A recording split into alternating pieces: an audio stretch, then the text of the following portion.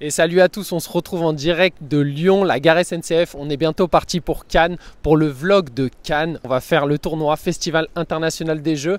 Il va y avoir énormément de joueurs, plus de 400 joueurs sont annoncés. Dans mon tournoi, il va y avoir que des joueurs à plus de 2000, donc gros gros tournoi. Je vais essayer de vous montrer toute cette aventure ensemble à l'intérieur de ce vlog. Donc suivez-moi, c'est parti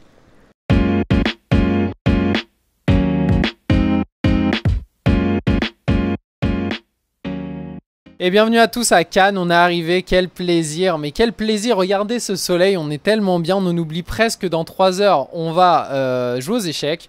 Donc franchement, hyper content d'être là. Je vais essayer de vous, partager un petit peu le mindset. Honnêtement, pas du tout stressé pour le moment. Euh, j'en ai presque oublié qu'on que, qu'on a une partie comme je vous ai dit. Euh, par contre, je suis chaud quand même. Je suis chaud pourquoi? Euh, Parce que j'ai passé le week-end à Paris, j'ai fait les internationaux d'Île-de-France et franchement, c'était important de chauffer un petit peu. Et donc, j'y vais vraiment avec le but de de donner le meilleur sur l'échiquier, donc pas de stress, vraiment faire la meilleure partie, essayer de prendre un maximum aussi que je gagne ou je perde en apprenant à chaque coup parce qu'évidemment on sait qu'on va faire des erreurs même si on essaye de chercher la perfection. Et voilà mon mindset. Maintenant je voulais juste vous dire que c'est très important aussi d'être dans de bonnes conditions. Et je vais vous montrer l'appart où on est pendant une semaine en colocation avec le maître fit Dorian Mikotis.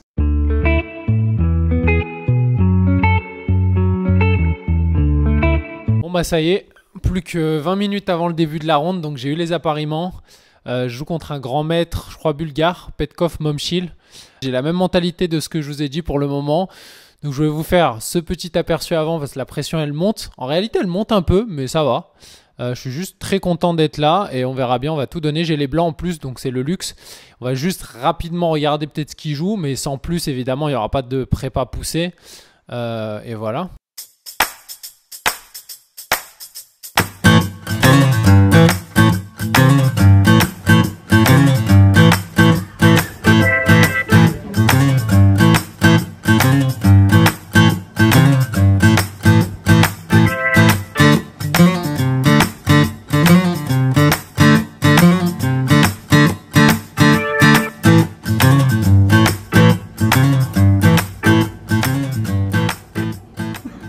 Parti pour le débrief de la ronde 1. Donc une partie à haut voltage. On fait face à un joueur bulgare, Petkov Momchil. Donc joueur à plus de 2500 Elo, moins de 20 ans. Donc top 60 mondial, peut-être une future star.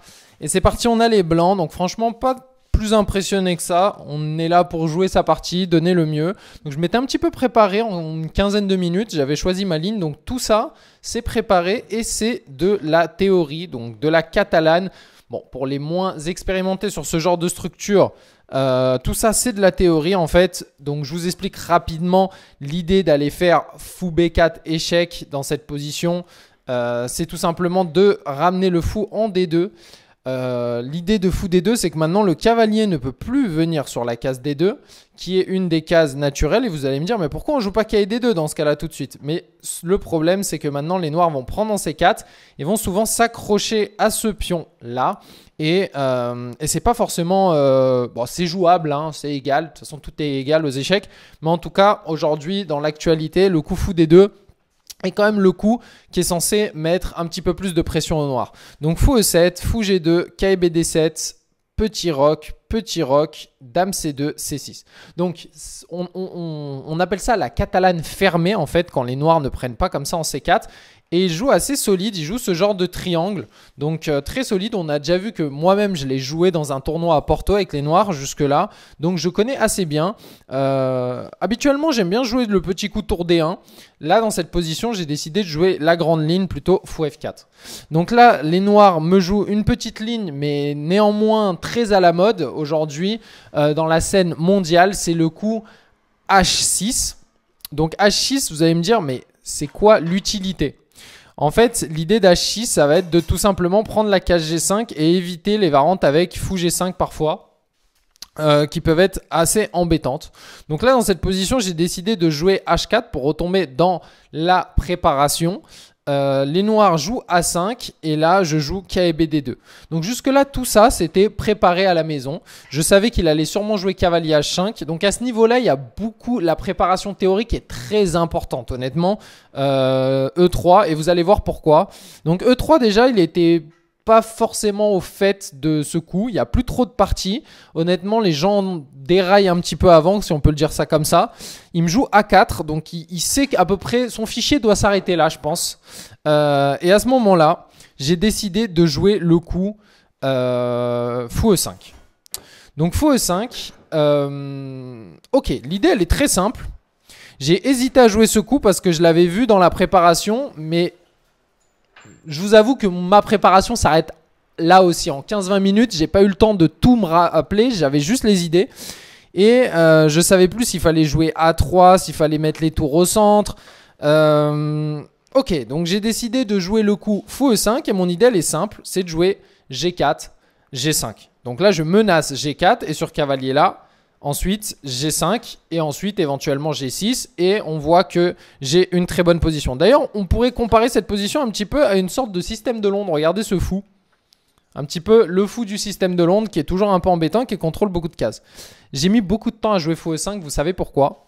Parce que dans cette position, j'ai évidemment calculé pendant au moins 10-15 minutes ce coup-là et j'ai mal calculé puisque en fait, euh, ça donnait l'avantage au... Euh, noir. Donc fou F4, G5, donc c'est la ligne critique. Et là, moi, j'avais pensé à G4, mais en fait, après prise, prise. Euh, bon, sur Dame 8, j'avais pensé tout simplement Dame G6. Dame prend G6, H prend G6, F prend E3, F prend E3, F5, H5 et je me suis dit il pourra pas vraiment attaquer ce pion là puisqu'il doit passer par F6 mais j'aurai le temps de jouer fou F3 mais regardez j'ai pas eu le temps. Donc là j'ai fait une erreur de calcul. Et ce qui est marrant c'est que même à ce top niveau regardez quand on connaît pas forcément les positions il l'a pas trouvé. Donc bon là c'est une erreur professionnelle de sa part. Mais regardez que comme quoi c'est des humains aussi. Il a pas trouvé ça. Il a pris aussi 10 minutes. C'est pas comme s'il il avait euh, euh, on va dire complètement joué vite et pas pensé, il a calculé et il a joué cavalier HF6. Donc cette position, elle est à peu près égale toujours, hein, puisque de toute façon, il n'a pas fait d'erreur hein, dans cette position. C'est plutôt moi avec fou E5 qui avait un peu craqué. Euh, et là, en fait, je dois soit revenir en F4, soit manger en F6. Et euh, je fais à nouveau une erreur. Tour FD1 dans cette position. Et là, il trouve le bon coup, c'est cavalier G4. Donc là, cavalier G4, pourquoi c'est plus fort? Parce que déjà, le cavalier n'est pas au bord, comme tout à l'heure. Et euh, bon, il attaque deux fois mon, fou. Hein. Il menace de prendre peut-être la paire de fou. Donc là, je décide de pas donner la paire de fou. Mais là, G5, très bien joué. Prise, prise. Fou E5. Et là, il joue un très bon coup. Et c'est là, je me suis rendu compte quand même que c'était un très fort joueur pour trouver ce coup F5 et sentir qu'il est mieux. C'est le seul coup qui donne un petit avantage au noir. Allez, l'ordi met 0-2. On parle vraiment là d'un mini avantage. Et vous verrez que ça va pas être décisif pour euh, la suite de la partie.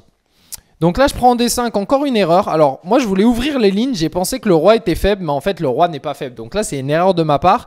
J'ai pris alors que j'aurais pu euh, jouer passivement. Mais c'est dur pour un humain de jouer passivement dans cette position. L'ordi propose des coups comme fou F1 ou tour AB1, c'est pour vous dire. Donc là, j'ai décidé d'essayer d'attaquer le roi, prise prise, et regardez mon coup d'après, c'est fou H3. Je pensais même à des idées avec E4 pour tout dynamiter, mais malheureusement, ça n'a pas marché. E4, prise par exemple, prise, prise. Dame prend avec l'idée d'aller mater. Hein. Si c'est à moi de jouer, c'est mat. Mais là, dans cette position, il y a juste prise, prise. J'avais déjà fait ça dans une partie une fois et je me suis rendu compte qu'il n'y a pas assez d'attaque. Donc ça, bon, j'avais l'expérience et ça ne marche pas malheureusement. Donc, euh, dans cette position, fort de mon expérience, j'ai joué plutôt fou H3, menace fou prend G4 et dame G6, mat. Donc là, dame 8 pour couvrir la case G6. Là, je joue un très bon coup et le meilleur coup de la position. Vous pouvez mettre pause pour le chercher si vous voulez, mais je suis assez fier de ce petit coup sympathique. C'est fou C7 pour garder ce fou, en fait, le fou euh, du Londres.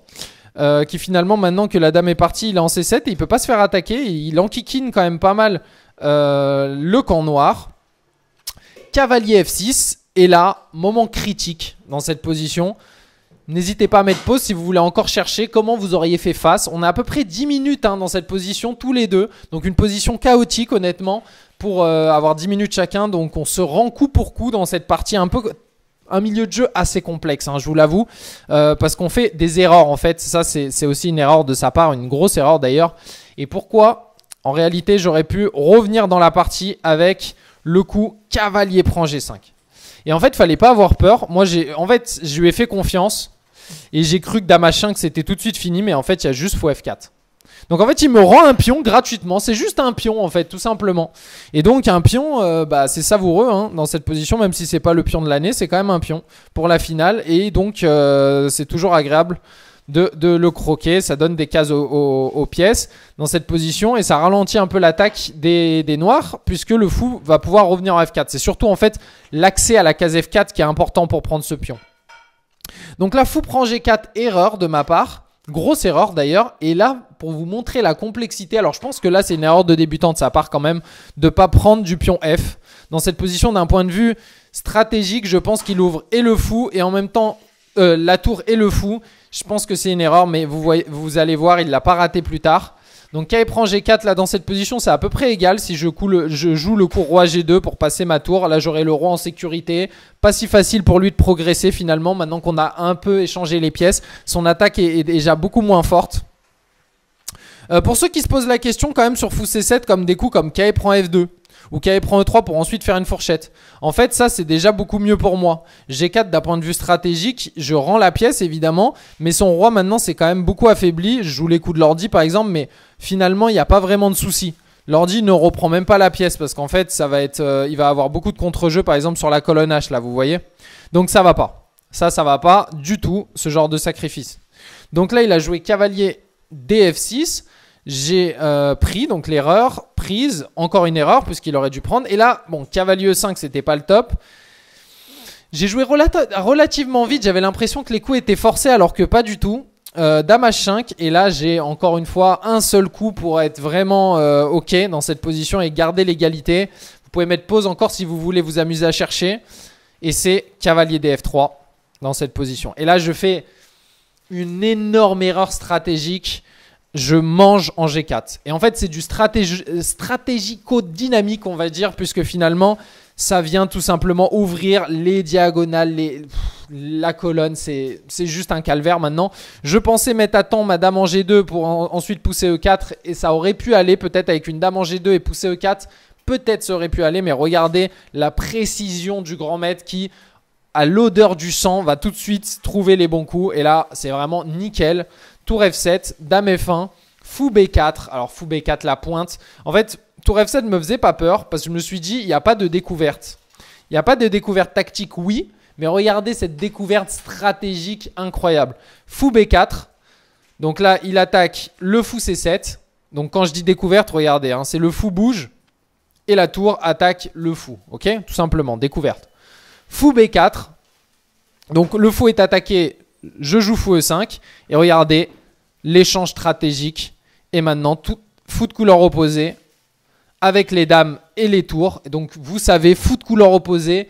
Donc pour ceux qui sont évidemment abonnés à Samatsa, vous avez la masterclass de Gary Giroyan sur le sujet. Donc vous devriez tous savoir que c'est complètement perdant cette position. Puisque de couleur opposée avec les tours et les dames, ça favorise l'attaque, comme disait Gary Giroyan.